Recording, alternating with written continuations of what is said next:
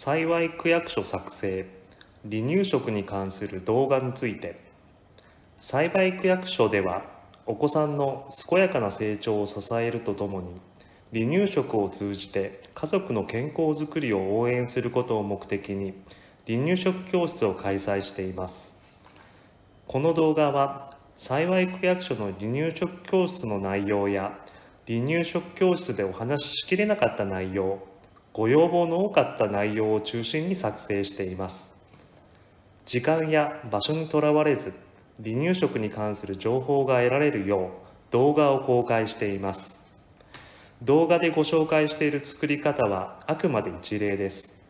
ご家庭の状況に合わせてアレンジしてみてください。この動画が皆様の入食作りや食を通じた健康づくりの一助となれば幸いです。離乳食の作り方不変特徴麩は小麦のタンパク質グルテンからできています柔らかくペーストにしやすい食材です。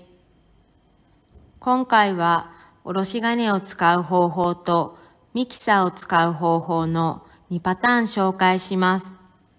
まず、おろし金を使う方法を紹介します。1、焼き麩をおろし金などですりおろします。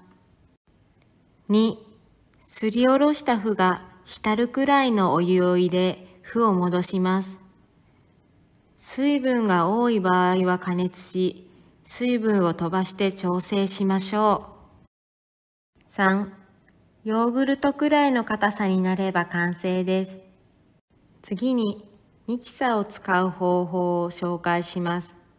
この方法は離乳食をまとめて作る際に便利です。1. 焼き麩をお湯につけて戻します。2戻した麩を軽く絞ってからミキサーにかけます水分調節ができるよう少し後入れ用の麩を取っておくと便利です3ヨーグルトくらいの硬さになれば完成です幸い区民の皆様へ離乳食や栄養に関するご相談は幸い区役所地域見守り支援センター地域支援課地域サポート係栄養士まで。電話番号は044-556-6693です。